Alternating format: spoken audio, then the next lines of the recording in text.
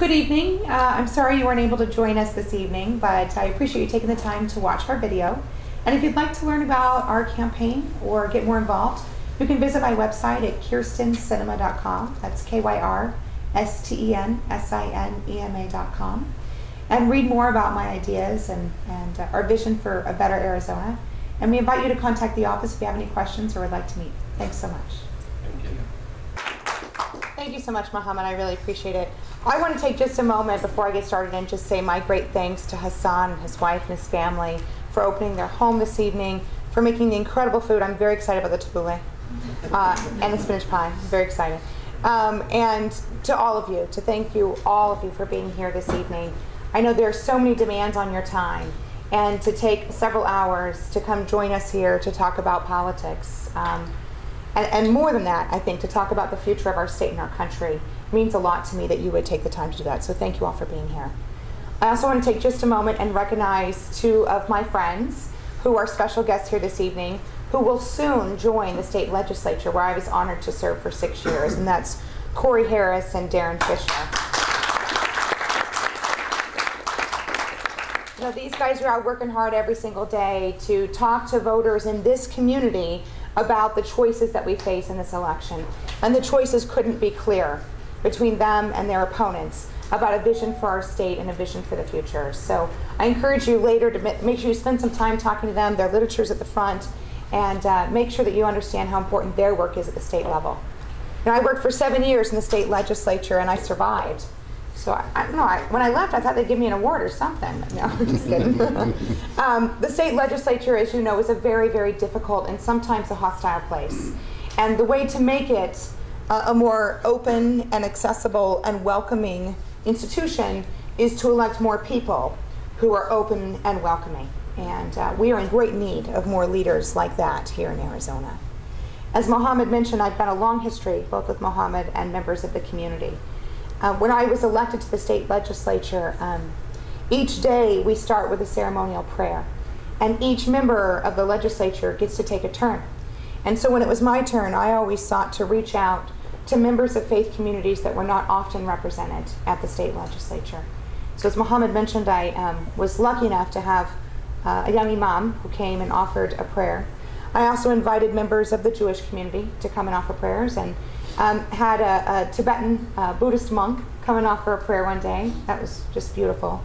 And um, even had a member of the Sufi community come and offer prayer. And my, my purpose over those years was to make sure that people who watched the state legislature, who visited the state legislature, knew that it was a place that was open and welcoming for all communities, regardless of their faith and regardless of the faith of those individuals who happen to serve.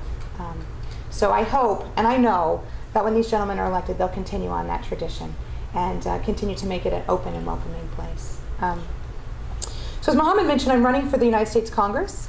What I want to do this evening is talk for a few minutes about why I would do something so unreasonable as run for the United States Congress. I do understand that it is not normal to run for Congress. I mean, this is a Congress that has been stellarly unsuccessful. They've gone for two years without passing a single jobs bill to make it easier for Americans to get access to good paying jobs. And they spend most of their time bickering and fighting with each other on national news. And they spend virtually no time coming together to solve problems and put Arizona families and American families first. And literally just a handful of hours before global economic collapse, you know, we were right there on the verge. And it was right before then that the Congress agreed to a compromise and move forward. And I felt very disappointed and frustrated that the leaders of our country were willing to take it to the very edge before solving problems and causing great stress throughout the world about the future of, of America's global economic strength. And I felt like we needed leaders who were willing to put aside politics and who were more interested in solving our country's problems, in meeting those challenges, than in having a, a spot on Fox News or MSNBC. And that's why I decided to run.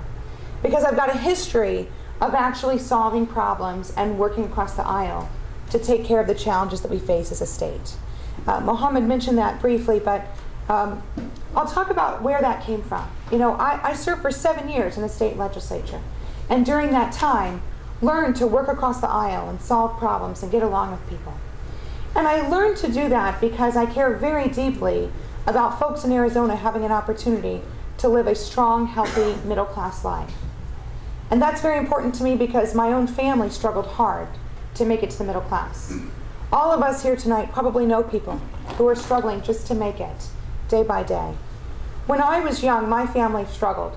Um, I was born and raised in Tucson, Arizona, the southern part of the state. Um, and when I was little, my father, who was an attorney, was you know quite well educated, good man, had a good job. Uh, my mother chose to stay at home and raise us children. Um, she didn't work outside the home. She didn't actually go to college. She just focused on taking care of us. And during the 1980s, uh, some of you may recall, we had a recession, a very bad recession here in Arizona. And my father was laid off from work during that time. And like many families that we know, when someone in the family loses, the job, loses their job, you can lose everything. And my family very quickly lost our car and lost our house, and, and we went from being a middle class family to being homeless almost overnight. It was very quickly how, how it happened. And for two years, while my parents were struggling to get back on their feet, uh, my family was homeless. We lived in an old gas station that had been abandoned. Uh, we didn't have running water, we didn't have electricity. And sometimes, even though we had help from family and friends and my parents' church, sometimes we didn't have enough food to eat.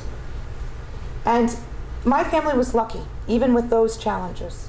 Because after just two years, we got back on our feet and we were okay again. And I realized that my family was quite lucky that we were able to recover and get back on track. But there were many other families who, through no fault of their own, can't get enough work to take care of their kids and take care of their families. So later, when I was old enough to go to college, I chose uh, to go to college to become a social worker. And I chose social work because I wanted to help children and families who were struggling economically like my family had struggled. And uh, thanks to the government, Pell Grants, everyone, you guys all know what Pell Grants? Pell Grants are great. They help poor kids get to college. And I got a full Pell Grant. Um, I also was lucky enough to get an academic scholarship because my dad taught me to work hard and never depend on anyone to give me something for free. And so those two things together allowed me to go to college. When I finished college, I moved up to Phoenix, and I chose to work in Sunnyslope. I don't know if anyone's familiar with the Sunnyslope community. It's mostly an immigrant and refugee community. And these are families who've come to Arizona to make a new life. And yet, many of those families, as hardworking as they are, really struggled. And my job as a social worker was to help those families get access to the American dream, right? That's all anyone wants to have a good job, take care of their kids, and prepare for the future. And that was my job, was to help families do that. But after about eight years, I decided I needed to do more because the things, things just weren't changing fast enough for families. families would work so hard and work two or three jobs and work night shifts and just work, work so hard and still not make it. And I thought we need to do something different to make it easier for folks to get access to that American dream. And so I ran for the legislature. And whoo, that was a whole different world.